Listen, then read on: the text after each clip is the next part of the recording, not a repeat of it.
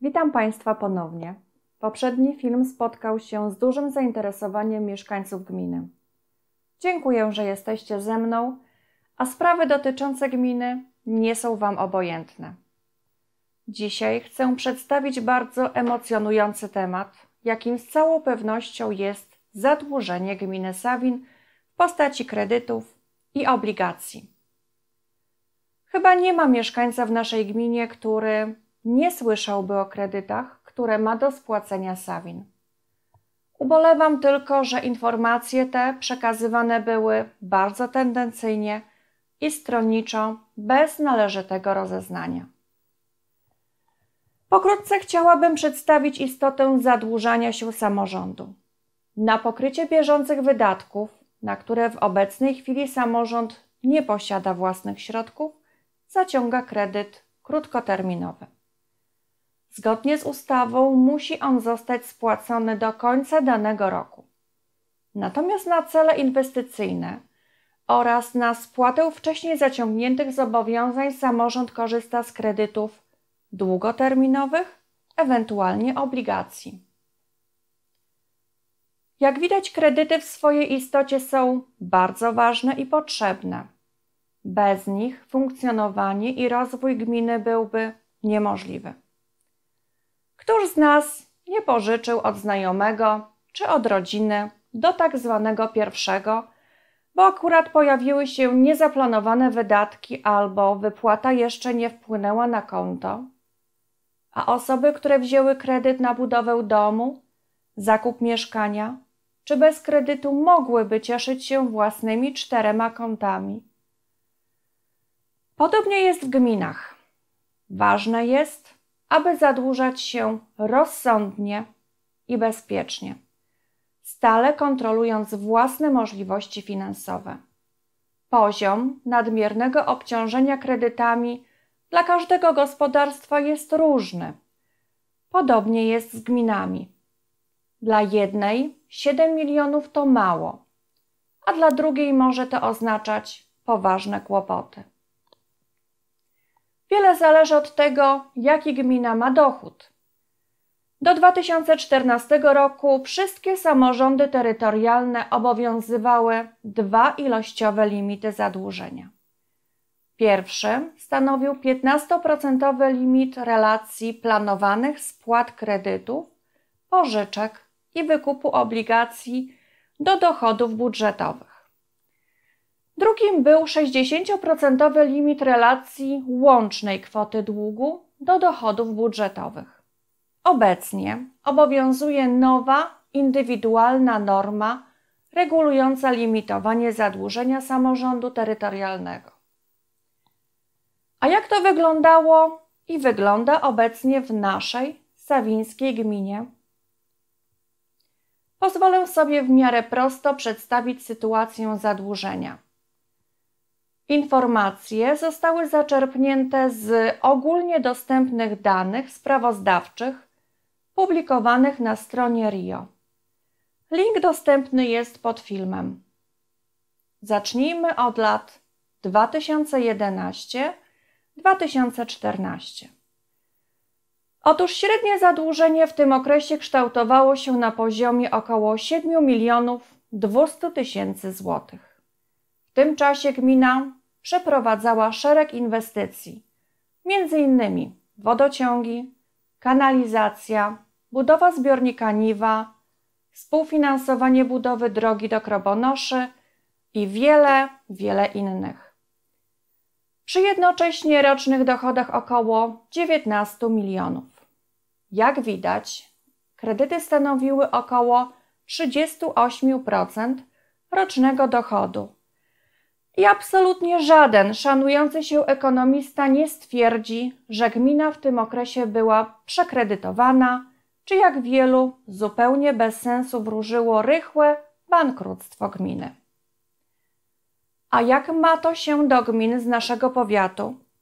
Otóż, porównując ten sam okres, można zauważyć, że tak naprawdę nasz dług nie odbiegał od średniego zadłużenia gmin w powiecie tylko zastanawia, dlaczego tam nikt nie podniósł larum, i nie wmawiano mieszkańcom, że ich gmina jest niewyobrażalnie zadłużona. Problem miał tylko Sawin. Dezorientacja, celowe działanie. Teraz spójrzmy, jak gmina zarządzana jest pod kątem polityki kredytowej w ostatnich czterech latach. Obierając stanowisko włodarza obecny wójt Dariusz Ćwir stale i natrętnie powtarzał, że gmina jest koszmarnie zadłużona. Na koniec roku 2014 dług wynosił 7 milionów 408 tysięcy złotych i rozpoczął się zapowiadany proces oddłużania gminy według Ćwira. Proszę spojrzeć. Na koniec 2015 całkowity dług wynosił 7 milionów 96 tysięcy złotych. W 2016 mamy już 8 milionów 387 tysięcy. I tu nie występuje jeszcze zobowiązanie dla Halera, które powstało w marcu 2017 roku. Następny rok zakończył się długiem 9 milionów 882 tysiące złotych. W tym pozostałe do spłacenia zobowiązanie dla Halera około 1 873 tysiące złotych. Na koniec 2018 oczywiście nie ma jeszcze danych. Mamy dane z końca półrocza a są one następujące. Kwota zadłużenia to 10 milionów 853 tysiące. W tym zobowiązanie dla Halera wynosi 1 105 tysięcy.